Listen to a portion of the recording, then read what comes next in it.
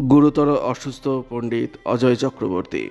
শহরের এক বেসরকারি হাসপাতালে ভর্তি করা হয়েছে তাকে।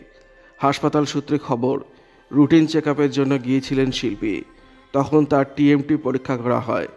দেখা যায় বর্ষিয়ান শিল্পীর হার্টে তিন তিনটে ব্লকেজ। সঙ্গে সঙ্গে তাকে হাসপাতালে ভর্তি হওয়ার পরামর্শ দেওয়া হয়। জানা গিয়েছে, শুক্রবার শিল্পীর আবার শারীরিক পরীক্ষা হবে। সেই সময় অবস্থা বুঝে অ্যাঞ্জিওপ্লাস্টির পরামর্শ দেওয়া হতে পারে। পরিস্থিতি যদি খুব খারাপ হয়, তাহলে বাইপাস সার্জারিও হতে পারে। সংগীত শিল্পীর অসুস্থতা নিয়ে মুখ খুলেছেন তাঁর মেয়ে গায়িকা কৌশিকী চক্রবর্তী। কৌশিকী জানান হ্যাঁ বাবাকে হাসপাতালে ভর্তি করতে হয়েছে। আমি এখন হাসপাতালেই রয়েছি। তবে সকলকে জানাতে চাই, চিন্তার বিশেষ কোনো কারণ নেই।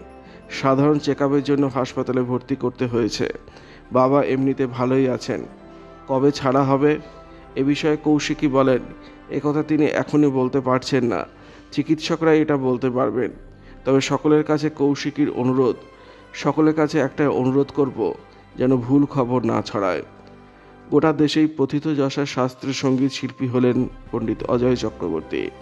বছরের শুরুতেই বন্ধু সংগীত শিল্পী উস্তাদ রাশিদ খানের অকাল মৃত্যুতে ভেঙে পড়েছিলেন তিনি। প্রসঙ্গত রাশিদ খানের অসুস্থতার খবর প্রকাশ্যে আসতে দেয়নি তাঁর পরিবার। তারপর হঠাৎই তার মৃত্যুর খবর জানা যায়। এতে শোক প্রকাশের পাশাপাশি ক্ষোভ উগরে দিয়ে পণ্ডিত অজয় চক্রবর্তী জানিয়েছিলেন, পরিবার এই মিথ্যাচার কেন করলেন? গতকাল রাত পর্যন্ত জানতাম রাশিদ ভালো আছেন, দুবাইয়ে আছেন, সুস্থ আছেন। আর মুখ্যমন্ত্রী কিছুক্ষণ আগে খবর দিলেন রাশিদ আর নেই। আমার কিছু করতে ইচ্ছা করছে না। আমি একটাই কথা জানাতে চাই, বাড়ির লোক কেন এই মিথ্যাচার করল? মেসেজে দিয়েছেন, এতদিন ধরে রাশিদ ভালো আছেন। তবে শুধু রাশিদ খানের মৃত্যুর ঘটনা নয়, মার্কিন মূলকে বাংলা শিল্পীদের হেনস্থা থেকে এ আর রহমানের নজরুল গীতি বিতর্ক। সব বিষয়ে স্পষ্ট মতামত দিয়েছেন পণ্ডিত অজয় চক্রবর্তী।